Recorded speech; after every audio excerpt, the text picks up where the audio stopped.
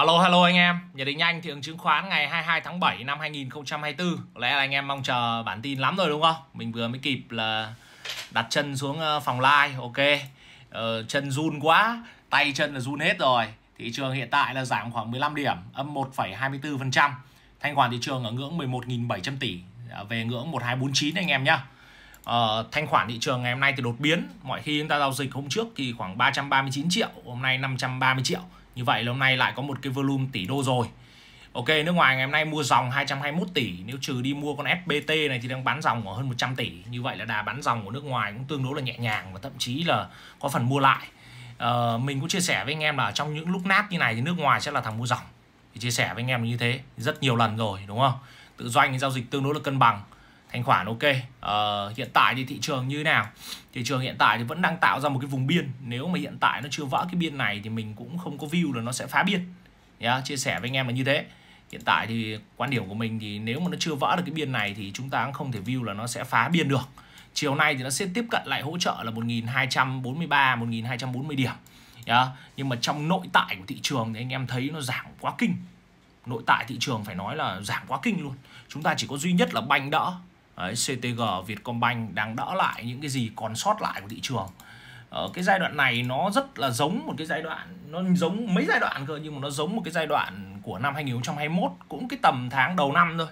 Nó cũng bắt đầu là nó kéo banh xong nó đạp mít đúng không? Ờ, ở trong những cái kỳ báo cáo tài chính như thế này thì những cái này thì cũng ít khi sử dụng lắm. Nhưng mà thi thoảng thì nó vẫn hay sử dụng và nó đang neo chỉ số bằng banh. Yeah, à, bằng banh. Ờ, xong anh em quan điểm của anh em là bảo là có sóng nhưng mà mình thì mình thấy là nó chỉ đơn thuần là phân hóa thôi chứ không phải là có sóng.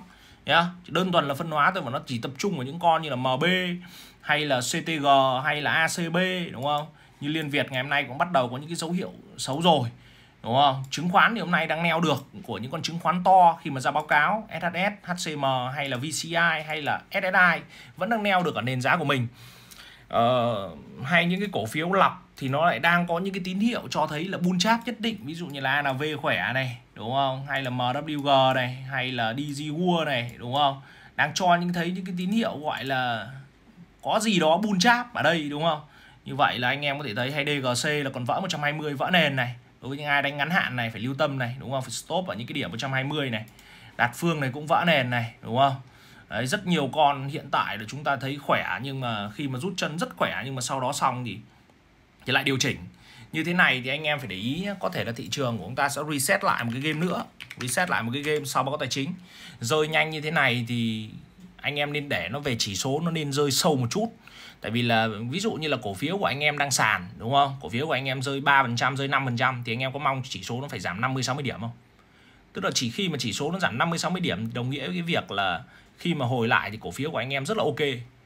Đấy, anh em có dư địa hơn. Nhưng mà nếu mà anh em hình dung như là cổ phiếu chúng ta bắt đầu giảm từ cái cây ngày ờ, 17 tháng 7 đúng không? Rất nhiều các cổ tạo đỉnh ví dụ như là HVN HVN Đấy, nó tạo đỉnh bây giờ nó rơi tiếp đúng không? Hay là VOS hay là những cái con công nghệ đúng không? Thậm chí kể cả FPT nếu chúng ta không trận lãi ở 132 đúng không? Thì đến bây giờ nó đã về 123 rồi. Tức là chúng ta mà không trận lãi ở vùng trên này thì bây giờ chúng ta toang đúng không? Cái việc trận lãi stop cực kỳ quan trọng luôn cực kỳ quan trọng và khi FPT mà nó rơi cứ như sỏi như này thì anh em thấy bắt đầu thị trường thấy nó cũng đau đầu đúng không? Đấy, khi lít mà chết thì anh em biết rồi không có lít khác lên thay thì thì toang ngay. Chúng ta có thấy là MB banh lên rồi MWG cũng đỡ thêm nhưng mà cũng có vẻ như là cũng chưa ăn thua lắm. Khi FPT mà rơi đúng không? Lít của sóng công nghệ đợt vừa rồi. Thì có thể là FPT nó sẽ dừng chân ở vùng 119 và khi FPT dừng chân ở vùng 119 120 này thì mình nghĩ thị trường nó sẽ có đáy ở đây và hy vọng rằng nó sẽ loanh quanh mình đang tham minh cho anh em đâu đó khoảng à, đây tổng kết phiên sáng đây.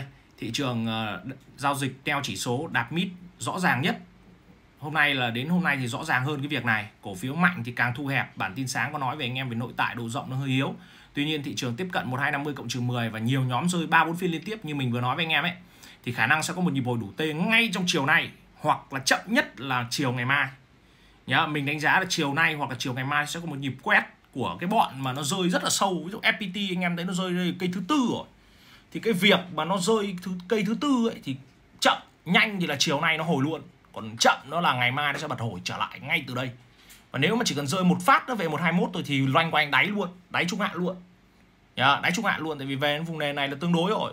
Chiết khấu là tương đối hơn 10 15% từ đỉnh là ok rồi cái đấy là cái mà anh em cần phải lưu tâm đấy. Ví dụ về đây là đường 13% FPT 13% là lít thì thế thôi chứ. Anh em còn đòi lít nó rơi 20% thì các cổ phiếu khác nó phải rơi 40% đấy, anh em phải hình dung là như thế. Yeah, vậy thì rất có thể là thị trường của chúng ta là đang reset lại đấy. Đoạn này dường như đang reset lại toàn bộ sau kỳ báo cáo. Các cổ phiếu tích lũy được nền giá sẽ là cổ phiếu cực kỳ chú ý. Đấy, các cổ phiếu vi phạm các nền giá phải dứt khoát xử lý để tỷ trọng tiền mặt đến 50 70% và quan sát cơ hội tuần này và tuần sau. Ví dụ như mình thấy những cái nhóm chứng khoán này này nó giữ được nền. Ví dụ ngày hôm nay khi thị trường giảm sâu mà nó mà giữ được nền thôi là rất là thành công. Mình cũng rất hy vọng như thế tại vì dù gì nói anh em bảo bây giờ SSI nó vỡ cái nền này rất nguy hiểm. Rất nguy hiểm luôn. Nó mà đi theo con VIX thì cực kỳ nguy hiểm luôn. Đấy, nó đi theo con VIX này thì anh em thấy nó rất là nguy hiểm. Vì thế nên rất mong là SSI hay là VCI hay là HCM nó giữ được một cái nền giá ở đây thì nó sẽ tốt cho thị trường cho cái giai đoạn sau. Và có thể nó sẽ là một nhóm mà đứng dậy cho thị trường giai đoạn sau. Chứ bây giờ anh em thấy là thép thì cũng có hòa phát, thì bây giờ đang vẫn đang ở vùng điều chỉnh trung hạn rồi. Đúng không? Em 100 Nam Kim thì toang Hoa Sen toang. Đúng không? Bất động sản thì thôi, không phải nói luôn. Bất động sản thì không phải không phải ý kiến nữa luôn. Đúng không? Vậy thì bây giờ còn mỗi là banh. Còn mỗi là banh. Còn mỗi là trứng. Đúng không? Thì bây giờ hai thằng này mà nó, thằng trứng mà nó rơi nốt thì kỳ có tèo rồi chỉ có tèo thôi. Vì thế nên là rất mong là hai thằng này có thể giữ được trong chiều nay thì nó còn níu kéo lại một chút hy vọng thị trường thời gian tới. Còn nếu không thì chắc là chúng ta cũng phải nghỉ ngơi đâu đó khoảng hai ba tuần. Chắc là đầu tháng 8 bây giờ có điểm mua mất. Đấy, chứ bây giờ anh em xem những cái cổ phiếu mạnh nhất mà chúng ta lọc đây nó còn không bật lại không bật dậy được, đúng không? Không bật dậy được. Thì chúng ta phải xem trong chiều nay những cái cổ phiếu nào nó đứng dậy, những nhóm ngành nào nó sẽ đứng dậy, nó neo lại thị trường có thể là vì nó giảm mình thấy những cái tín hiệu như là mấy cái con HVN viên ủng nó giảm đến cây ngày hôm nay là 1 2 3 4 5 rồi 5 cây rồi. Thì nhanh thì là chiều ngày nay nó quét luôn. Còn chậm thì là chiều ngày mai. Hy vọng là thị trường sẽ có đánh ngắn vào cuối tuần này. Hy vọng thị trường sẽ có đánh ngắn vào cuối tuần này. Còn quan điểm của mình nếu mà banh mà không rơi ấy, banh mà không rơi ngược lại thì thị trường khó vỡ được mức 1250 nhá khó vỡ được mức 1250 còn trừ khi banh phải rơi bù. Banh rơi bù tức là banh bull cháp đoạn rồi là banh bull cháp nhưng mà thấy form của MB banh CTG đấy thì mình không chắc là nó có bull không. Hay là nó chỉ là điều chỉnh bình thường form của bit này thì không chắc là có bull cháp không. Nhưng mà nếu mà banh rơi bù thì thị trường mới có thể vỡ được 1250 còn không thì mình đánh giá là tương đối khó. Vậy thì nếu mà tương đối khó thì khả năng một hai phiên tới sẽ có một cái nhịp hồi ở vùng này.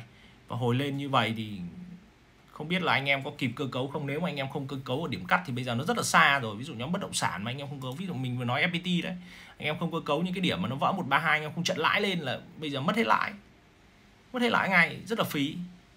Đúng không? Bây giờ thì mình nghĩ rằng anh em nên chờ đợi nhóm ngành dẫn dắt mới thôi. Tỷ trọng cao lên một chút nhá. Có chiều nay có hồi, có hiếc thì cũng giả soát lại danh mục một chút. Cầm con khỏe, cầm những con khỏe nhất. Ví dụ mình đang cho anh em cầm những con như ANV các thứ mà cũng đang sốt hết cả ruột lên. Hay là MB banh đúng không? Đấy cũng đã sốt hết cả ruột lên. Bit đúng không? Đấy. Còn những cái con nào yếu thì sẵn sàng cơ cấu bất kỳ lúc nào. Kể cả chiều nay yếu thì nó hồi như thế nào mà anh em cảm thấy trong phạm vi anh em bán được thì anh em bán. Còn ví dụ lỗ quá 15% rồi thì mình nghĩ anh em nên để lướt nhá thì lỗ quá 15% ví dụ bây giờ anh em bảo là thế bây giờ cắt uh, đất xanh. Không không ai khuyên được như vậy nhá. ví dụ như là đất xanh như thế này nhá, chiều nay loanh quanh mình còn mua cho anh em một trung bình giá. Nếu mà anh em có cầm ví dụ phát đạt này khách của mình có mấy ông kẹp ừ, phát đạt này chẳng may chiều nay mình có thể cho trung bình giá kiểu vậy. Đấy, trung bình giá dần. Chỗ đây bất động sản nó rơi từ nền này về đến bây giờ là 16% rồi. 20% là trung bình giá thôi. Nó về đến cái đáy này rồi. Đấy, dụ ở cái đáy này thì phải trung bình giá lướt T0 một tí. Đấy, thì bây giờ kẹp đúng không? Bây giờ gãy ở đây không bán đúng không? Gãy ở đây không bán thì bây giờ về đây chắc chắn phải lướt rồi không lướt thì làm sao mà mà hồi lên mà bán được. Lướt đi cho nó giá vốn nó giảm về, sau này nó hồi lên thì mới xử lý được chứ. Chứ không nó rơi tóm tóm như này thì cũng không kỳ vọng gì trong ngắn hạn cả, nhưng mà nó phải tích lũy lại. Và trong quá trình đấy thì mình lướt làm sao giá vốn mình về thấp, sau này mình xử lý nó dễ, chứ không lỗ nặng quá, không cắt được đâu anh em ạ. Giai đoạn này thị trường lỗ, anh em bảo anh em lỗ khoảng hơn 15 phần trăm nó khó cắt lắm, để lướt thôi, nhá. Còn cắt thì phải cắt đúng điểm cơ, vi phạm cái là phải cắt, đúng không? Không, nó rất khó. Ok chúc anh em đầu tư luôn thành công. Hôm nay thì hơi bận rộn một chút phải xử lý tài khoản các thứ cho khách hàng từ sáng sớm cơ khi mà thấy những cái tín hiệu. Nên là hẹn anh em vào buổi live tối nay trên YouTube và TikTok anh Lương Vịt. Hy vọng chiều nay uh, thị trường cũng có sự tích cực nhất định đúng không? Rồi hoặc không thì hy vọng chiều mai chắc là đến thứ tư nó sẽ ổn định trở lại chỗ này thôi. Ok bye bye anh em.